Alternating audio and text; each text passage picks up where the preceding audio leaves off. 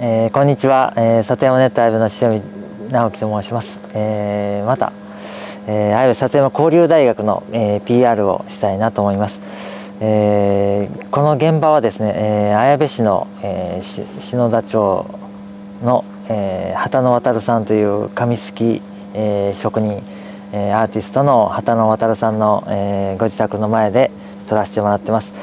えー、たった今、えー、ただいま、えー、綾部交流大学の、えー、2月講座の、えー、真っ最中でありまして、えー、今日は畑野さんのワークショップ、えー、紙すきを、えー、体験させてもらってます。で、え、この場を舞台に、えー、3月の、え、講座を PR したいと思うんですけども、えー、3月は、えー、3月20日から22日、えー、2泊3日で行います。え、テーマは「す、えー、べ、ての人が社会起業家になる時代に向けて」と、え、題して、えー、3年目、えー、3年間このテーマを、えー、追い求めております。で、えー、今回は、えー、今までも、えー、すごい講師陣だったんですけども今回もすごい講師、えーえー、先生方をお招きして、えー、京都の綾部で行いたいと思ってます。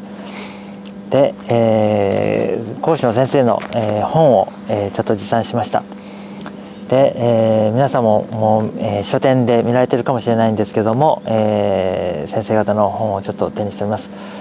で、えー、3月20日初日なんですけども、えー、言葉のアトリエの、えー、山本さん山本茂さんに、えー、来ていただいて、えー、お話しいただきます山本さんが出されている本は、えー「やりたいことがないやつは社会起業家になれ」というすごい本なんですけども私も拝読しました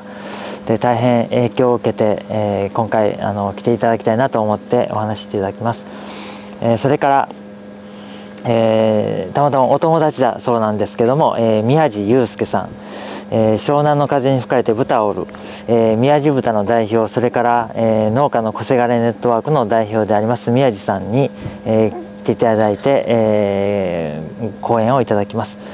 えー、この日はですね山本さん、えー、それから宮地さんの、えーまあ、とても若い、えー、30代の前半の、えー、講師ということなんですけども大変、えー、今とっても旬の、えー、話題の、えー、方ではないかなと思ってます、えー、2日目なんですけども3月21日えーまあ、この日は、えー、村村を、えー、散歩、えー、まずしたいなと思ってます、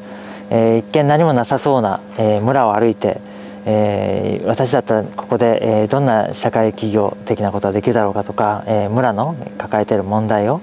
えー、解決できるかなっていうようなことを、えー、村を散歩歩きしながらですねいろんなことを考えてみたいなと思ってます。えー、その後、えー、名古屋から、えー、お越しいただくんですけども、えー、木村、えー、正樹さん、えー、コミュニティユースバンクももの、えー、代表でいらっしゃいます、えー、木村正樹さんに、えー、お話しいただきたいなと思ってます。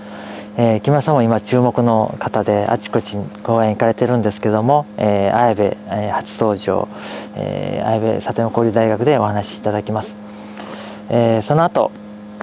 えー、山梨から、えー、来ていただきますのは、えー、田中進さんという農業生産法人サラダボールの代表の、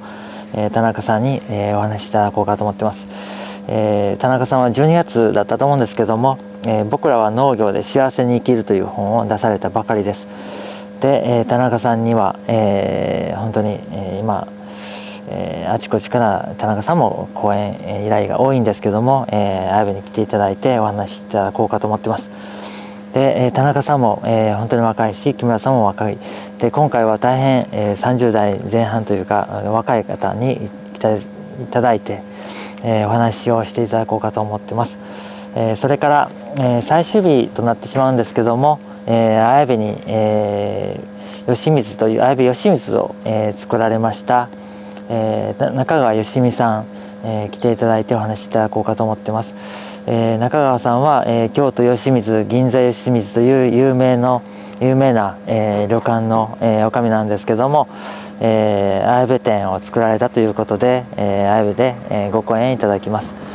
でもう一方ちょっとまだ今交渉中なんですけども、えー、その方もすごい、えー、方を、えー、講師として来ていただこうかと思ってますで今まで、えー、全ての人が、えー、社会起業家になる時代に向けてと、えー、2年間やってきたんですけども、えー、やはり私は、えー、このテーマを追い求めて、えー、本当に良かったなと思うし、えこれからますますこういった時代になるんじゃないかなと、えそう思っています。え交流大学の舞台は、え私の母校であります、え旧豊里西小学校、えの跡地になるんですけども、えそちらで、え2泊3日、え行いますのでぜひ、え3月、え綾部に、え来ていただけたらと思います。えー、今日も、えー、2月講座の真っ最中ということなんですけども大変いい天候に恵まれました、えー、3月も、えー、皆様にとって、えー、大変いい日に、え、なりますようにですねまたスタッフ一同頑張りますので、えー、ぜひお越しくださいで、えー、ただ、まあ、座学だけじゃなく、えー、里山交流大学では、えー、一人一人、えー、2泊3日の間で、えー、考えられたことを、えー、企画をプレゼンテーションしていただくような場も、えー、考えてます。